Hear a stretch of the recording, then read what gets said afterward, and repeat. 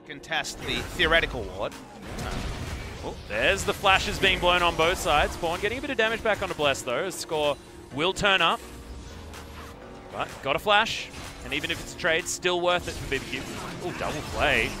Knockup does come down as Mata's taking a lot of damage. Yeah, Ghost should be able to grab this kill as Manto just flashes out of the way. He's got himself the shield from the Dark Passage as well. He, Volatile Spiderling will spot this one out. That's exactly what's going on. However, Score feels like he doesn't have enough friends. Try and help this one. Oh, not going to happen. The Cocoon does land though and Score. He wants the kill onto Bless. There's the Blast Cone and Smeb gets the stun. Void Rush just Bless understanding his fate. And that's going to be the ambush there. So he wasn't spotted trying to get back here as the teleport does come in. Mata throws down the box. Totoro lots of damage as he flashes and uses the quickness to try and get out.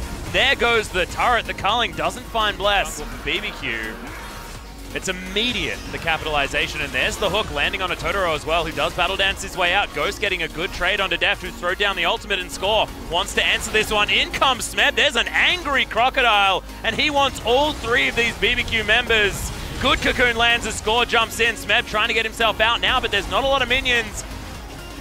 Uh, yeah, Score is in a heck of a lot of trouble. Isn't able to take the Lantern Ride to get himself out. Mata, good position to try and help. But BBQ are able to answer with a turret in the top. As crazy.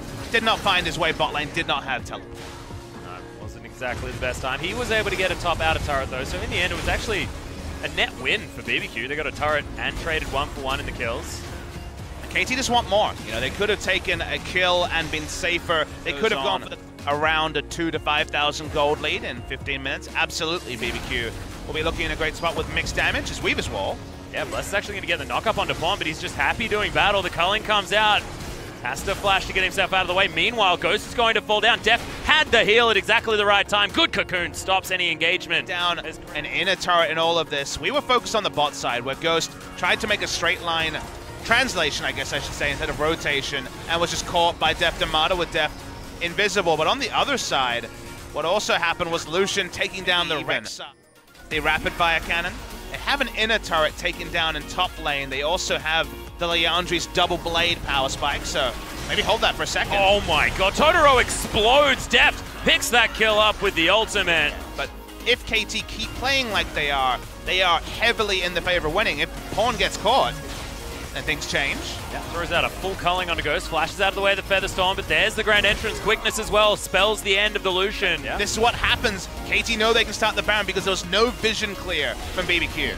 Yep, teleport coming in from Smeb as well. They are actually looking for this as far as a 50-50. No, they're not, because Blessed not here in time. Score. The only one will easily fall is now they're just looking for Pawn. Relentless Pursuit to try and get himself out. As there's the quickness. They lock it in there, and Pawn learns that you can't actually use the QSS well, to get out have a 0-0 Cho'Gath, close to when the game ends.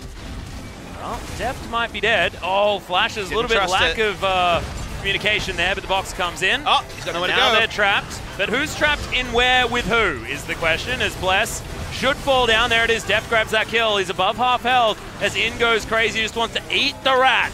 That's called dinner time right there as Deft gets out of the way of the grand entrance. Ghost trying to get the damage down, but Crazy's just intent on nomming down on this Twitch and does manage to pick up the kill. Score will answer it though as Tempt falls down and Ghost running from Smeb. This looks so, so scary for this little Xayah who will eventually fall.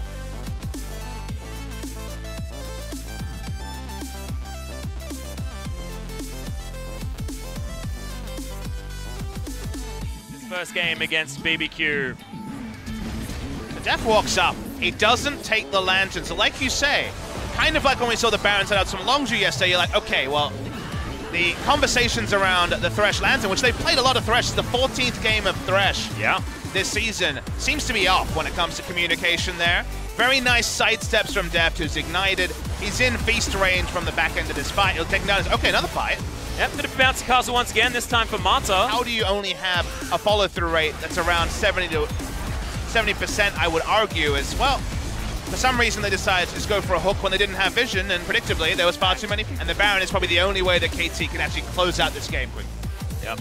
With the vision denial from the control ward, they will be able to take down this Baron very, very easily and very quickly. And Mata is actually going to be able to find that hook. Featherstorm keeps Ghost alive, but he's pushed out of the fight. And Totoro just gets destroyed. No opportunity to get that quickness to actually work anything out. Battle Dance not enough to get himself out of the way, and Pawn dashes into a wall, so Crazy should be able to get himself to relative safety. Deft chasing after Bless, and Score can't find Tempt. At least BBQ should be able to get themselves back into their base, but no. Spawn's able to take down the Cho'Gath, and Bless is looking for Deft. I don't know whether this is a fight you want to take, as the teleport is there. Void Rush comes down, but Deft too much life steal and not enough damage out of the Rek'Sai, and that's going to be the finish off. That's going to be the ace, and that should be the game for KT Rolster. It's got 280 carries, so even though score goes down, the super minions will do most of the work.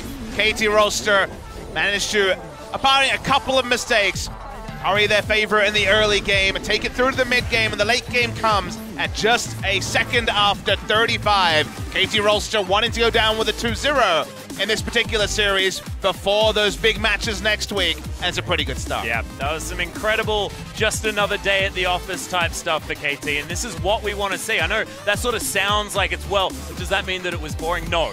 That's not what that means. What that means is that SKT should have been watching that